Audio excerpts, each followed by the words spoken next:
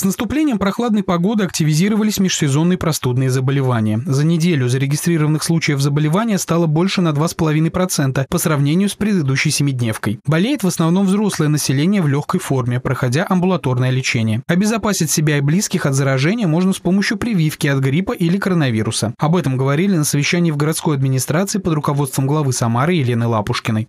Коллеги, давайте начинать с себя. Во всех своих коллективах проговорить о необходимости э, проведения прививочной кампании. Если есть какие-то сложности, но обращайте. Елена Лапушкина поручила главам районов помогать поликлиникам в организации выездов на предприятия города для проведения массовой вакцинации без отрыва коллективов от производства, учитывая, что доз прививок в городе в достаточном количестве. Сами горожане тоже понимают важность заботы о своем здоровье. Количество записей на вакцинацию в этом году с наступлением осени выше, чем в 2023.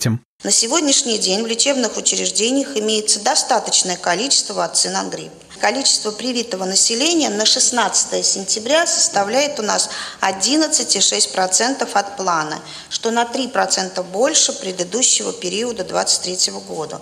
Главный санитарный врач Самарской области направил в муниципалитеты список рекомендаций ограничить массовые мероприятия в закрытых помещениях, особенно с участием детей, возобновить на предприятиях термоконтроль на входе, проводить санитарную обработку салонов общественного транспорта обеззараживающими средствами. Эту работу также будут проводить на территории города. Андрей Горгуленко, Николай Пифанов. События.